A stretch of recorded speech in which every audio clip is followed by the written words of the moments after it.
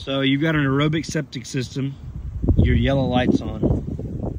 And you've got a HIBLOW HP80 right there. More than likely what's going on is the diaphragm on both side, sides are shot. Got one here, already changed that one out. That one is blown too, you can see it. Here's what they look like when they're completely blown.